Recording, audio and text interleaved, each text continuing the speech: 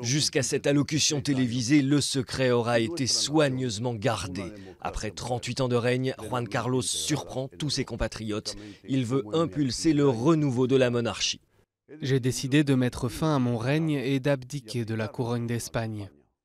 Désigné par le général Franco pour lui succéder, Juan Carlos a fait le choix de la démocratie pour son pays.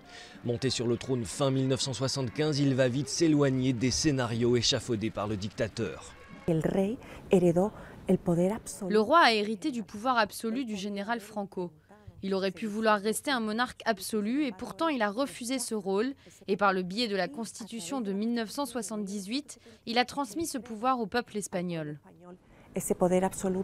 Le 23 février 1981, Juan Carlos s'oppose à une tentative de coup d'État militaire. Il y gagne l'estime de son peuple et du monde entier. Un souverain proche de ses sujets, bon vivant mais discret, respecté de tous. Mais les dernières années vont voir les difficultés s'accumuler pour le roi, jusqu'à ses excuses publiques du jamais vu. Je regrette beaucoup, je me suis trompé, cela ne se reproduira pas.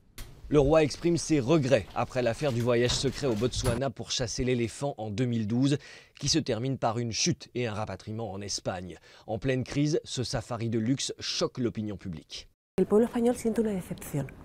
peuple espagnol est déçu. Il sent que le roi ne le soutient pas dans la période si difficile que traverse le pays. C'est là que se produit la rupture entre le roi et le peuple espagnol.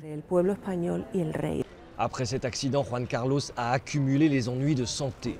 Un roi affaibli physiquement mais aussi moralement, avec l'inculpation de son gendre Iñaki Urdangarin, puis de sa fille Cristina dans une affaire de détournement de fonds.